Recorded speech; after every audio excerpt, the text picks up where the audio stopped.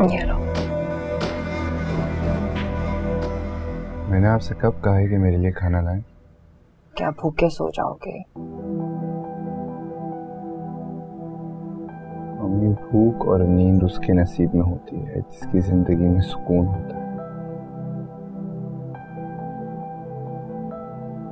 आपको पता है इन सब चीज़ों का बाबा ने क्या हल दिया है? कि जाओ। जाकर आराम करो का ख्याल था कि वो तुम्हारे लिए जाग लेंगे ताकि तुम आराम कर सको। यानी तुम मेरी बात का यकीन करो या ना करो लेकिन मैं तुम्हें सच बता रही हूँ। पूरी रात जागते रहे सिर्फ़ तुम्हारे लिए सोचते रहे हो। अगर वो खुद पूरी रात जागते रहे हैं तो मुझे सोने को क्यों बोल रहे हैं? क्योंकि वो जानते थे कि वो जो करेंगे, सोच समझ कर करेंगे। और जो तुम करोगे, सोचे समझे बगैर करोगे। शानी, खुदा के लिए कोई ऐसा कदम मत उठाना, जिसके बाद हमारे साथ साथ रिमशा के लिए भी नज़रें उठाना मुश्किल हो जाए। पता है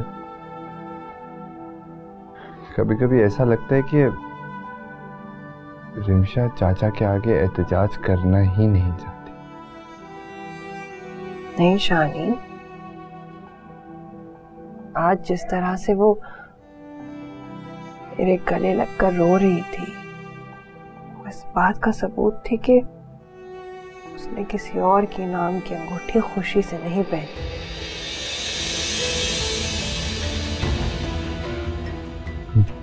गोटी